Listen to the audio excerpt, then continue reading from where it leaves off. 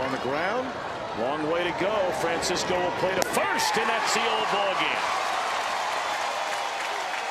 But Cordero nails it down, and the Reds have even this series at a game apiece. Boy, Dusty shaking his head. That one took a lot out of him. A long game, nearly three and a half hours. But the Reds win it by a final count of six to four.